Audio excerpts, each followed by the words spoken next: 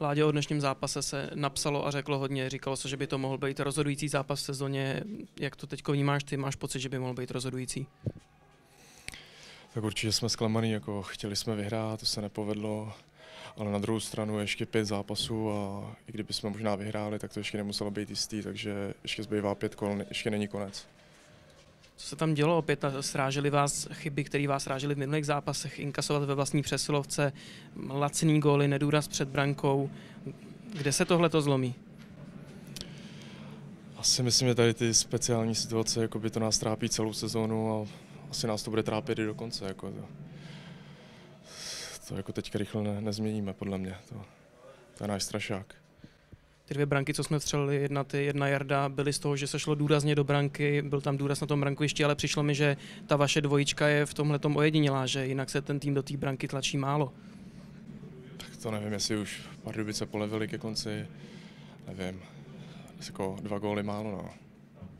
2-0 po dvou třetinách, ten nástup byl hodně aktivní, vypadalo to, že byste s tím něco mohli udělat a pak přišel takový, řekněme, nešťastný laciný gol na 3-0, to asi vás už hodně srazilo. A jak my jsme si hlavně říkali nepřestat hrát za stavu 2-0, že už jsme otočili i horší zápasy, ale přesně jak říkáš, tady to na 3-0, to už to byl takový hřebíček do rakve, podle mě.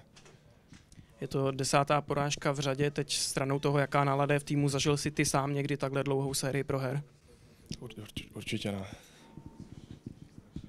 Čím byly Pardubice lepší?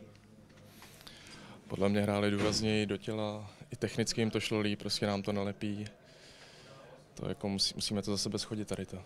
Co se teď děje v kabině jako takovém Jako... No nic, no, jako ještě fakt, jak jsem říkal, pět zápasů, musíme jít dál, musíme co nejvíc vyhrát teďka. Dá to ještě vůbec po takovýhle dece, po deseti, deseti zápasový šňůře bez výhry? Tak jako to věřím, že se vyhraje jeden zápas a je to pryč, ale jako teď na to všichni myslí, no, vzadu v hlavě to má. Jak se z toho dostat takový psychický spíš? Za mě je to hrát jednoduše, nevymýšlet zbytečně komplikované věci, střílet, dorážet a ono se to vrátí samo. Dívali jste se na, na dálku aspoň, jak hráli tým? A Protože je to o tom jednom zápase, který to zlomí, to říkáte strašně dlouho, je to tím, jak se ta série natahuje ještě víc, že upadáte psychicky dolů. tak jako se snažíme do každého zápasu dát všechno, no, ale jako když to ne, nevíde a víme, že jsme do toho dali jako všechno, tak to těžký, no. Jako Já bych teďka neházel ještě Flintu do žity, je pět zápasů. No ale připouštíte si, že ta eh, hrozba toho sestupu už je fakt jako reálná. Jako je, ale tak to bylo od začátku sezóny, nikdo nám nevěřil.